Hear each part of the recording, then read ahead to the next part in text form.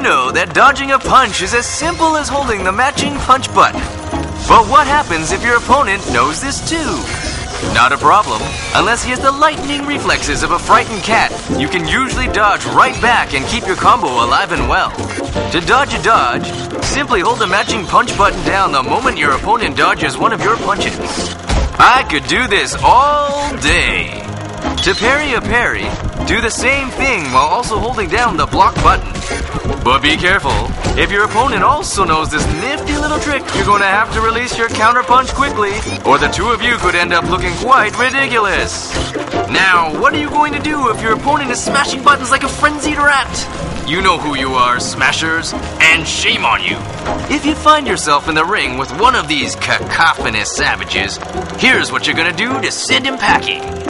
Anytime you find yourself landing a furious string of uncontested jabs, simply stop punching. Seriously, stop punching. And hold up a parry. Then watch and wonder as the simpleton punches right into your parry like the button smashing idiot he is. Let's see that again. And again. And again. Putting this all together can be quite scintillating.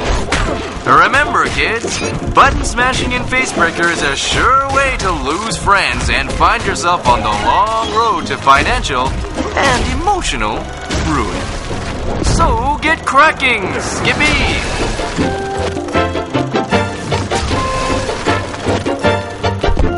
yeah.